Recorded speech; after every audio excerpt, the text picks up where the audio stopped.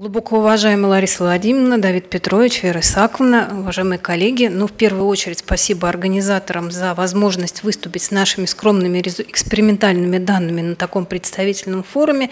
А, речь сейчас пойдет о а, клеточной терапии, тех самых серьезных осложнений у онкологических пациентов, которые возникают в результате назначения антрациклиновых антибиотиков.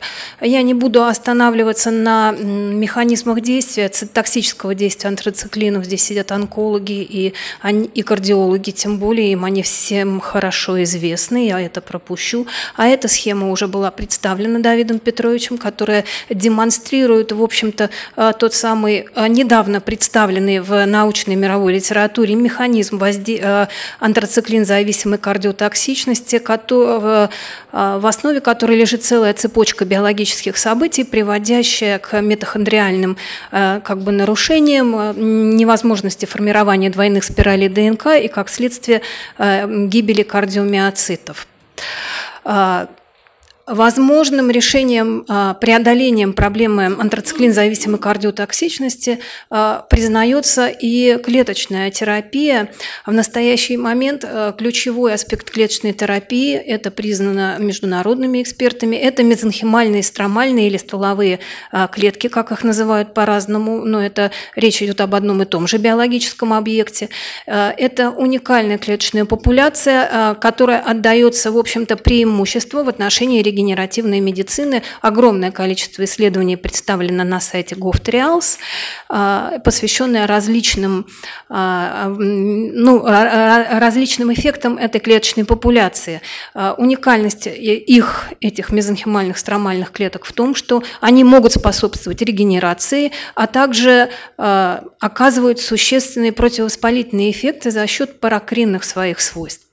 А, в основе паракринных свойств лежит их способность синтезировать огромное количество биологически активных молекул, и они настолько а, разнохарактерны, что и свойства мезонхимальных стромальных клеток зачастую противоположны. В одной ситуации они оказывают подавляющее действие, в другой, наоборот, стимулируют какие-то биологически активные процессы. Но сейчас мы с вами говорим непосредственно о, кардио, о преодолении кардиотоксичности с использованием клеточной терапии с такими биологическими агентами.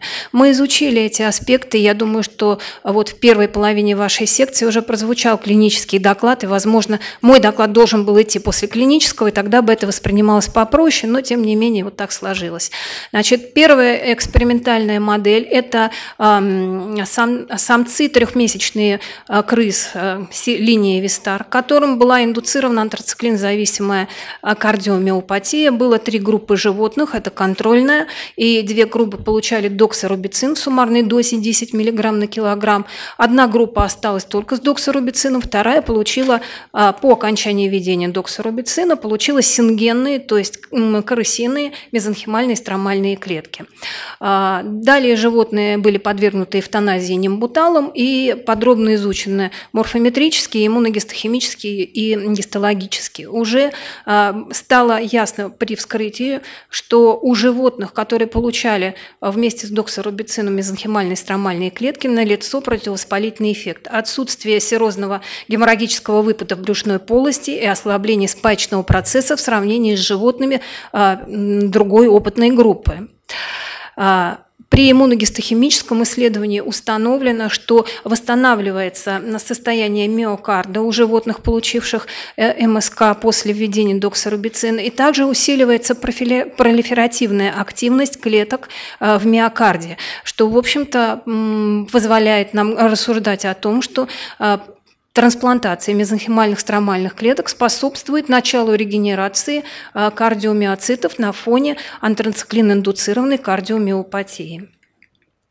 А, следующая, вторая экспериментальная группа, эти данные еще нигде не докладывались, это предварительные результаты, поскольку исследование данных животных еще, а, органов данных животных еще продолжается, но часть данных мы уже можем доложить. Это, было, а, это исследование было проведено на самцах-гибридах блэков, первых гибридов, гибридов первого поколения. Было пять опытных групп, опять же, контрольная, и четыре группы опытные.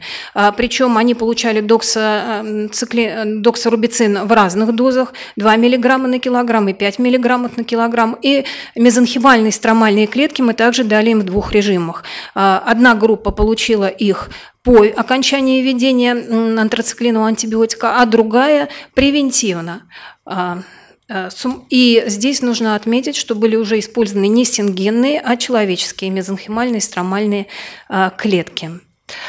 Э, по данным морфометрии нами установлено, что у животных, которые получили превентивно мезонхимальные стромальные клетки, показатели состояния сердца и массы тела близки к нормальным, в отличие от животных, не получивших МСК или получивших МСК непревентивно. А, под, на, на микроскопическом уровне установлено, а, что при использовании МСК а, заранее, до введения доксорубицина, до получения животными полных доз э, доксорубицина, восстанавливается миофибриллярная структурированность э, кардиомиоцитов и снижается поперечная исчерченность э, кардиомиоцитов. Также усиливается, как и в первом эксперименте, пролиферативная активность кардиомиоцитов, как показывают вот последние гистограммки, это антиген-позитивность на PCNA, антиген пролиферативной активности области. А, эксперимент еще не закончен, но тем не менее уже на данном этапе мы можем говорить о том, что именно превентивное введение мезонхимальных стромальных клеток обуславливает начало процессов восстановления кардиомиоцитов на фоне антрациклинзависимой кардиотоксичности. И это позволяет нам сделать вывод о том, что системная превентивная трансплантация этих клеток может э, послужить в дальнейшем в клинике для преодоления таких серьезных побочных эффектов э, использования химиотерапевтических э, препаратов. Спасибо за внимание. Ну а можно сразу вопрос онколога? А естественно, изучалась ли безопасность с точки зрения онкологического процесса применения этих это э, извечный вопрос, пока еще на него окончательного ответа нет, но тем не менее мы в своих экспериментах ни разу не видели, что трансплантация МСК либо сингенных, либо не, не родственных вызывала какие-то именно мезенхимальных стромальных клеток костного мозга, а речь идет именно об этой популяции, потому что эти клетки можно получить из разных источников, но полученные из костного мозга ни разу у нас не индуцировали развитие опухолевого процесса. Я немножко даже не об этом. Я о том, не были ли у вас животные, уже которым были перевиты опухоли, то есть с исходно опухолевым процессом. Потому что мы же говорим о лечении онкологических больных, у а, которых уже заведомо есть онкологический а, процесс. Спасибо огромное, Лариса Владимировна, за вопрос. Но это следующий этап наших исследований. Пока что мы только воссоздали модель а, кардиотоксичности антрациклиновой для того, чтобы понимать, что да, мы а, вот это воспроизвели у животных, не имеющих онкопатологии, потому потому что это очень сложная ситуация на самом деле.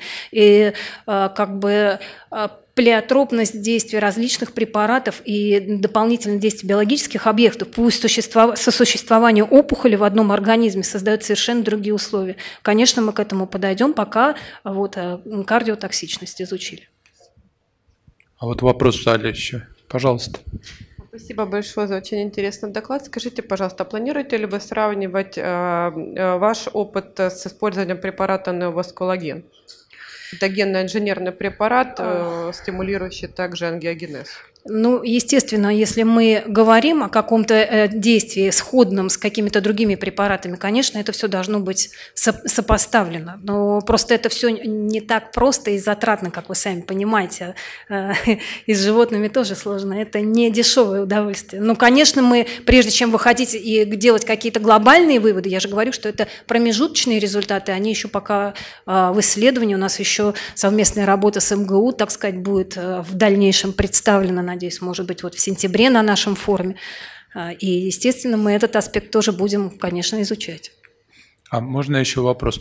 А вот последовательное применение токсорубицина и стромальных э, стволовых клеток, это, допустим, логика понятна, они способствуют регенерации. Но вот во второй серии экспериментов они пересекались. Токсорубицин разве не останавливает деление стволовых клеток, не вызывает те же эффекты? Он же на самом деле цитостатический антибиотик. А, ну, смотрите, ведь были животные и таких, и таких групп, и только у животных, которые получили доксорубицин сначала, а потом МСК, определенные эффекты восстановления сердечной мышцы были а, продемонстрированы иммуногистохимически. А, у животных, которые получили только доксорубицин, подобных явлений в сердце не было. Там были налицо только деструктивные изменения. Спасибо.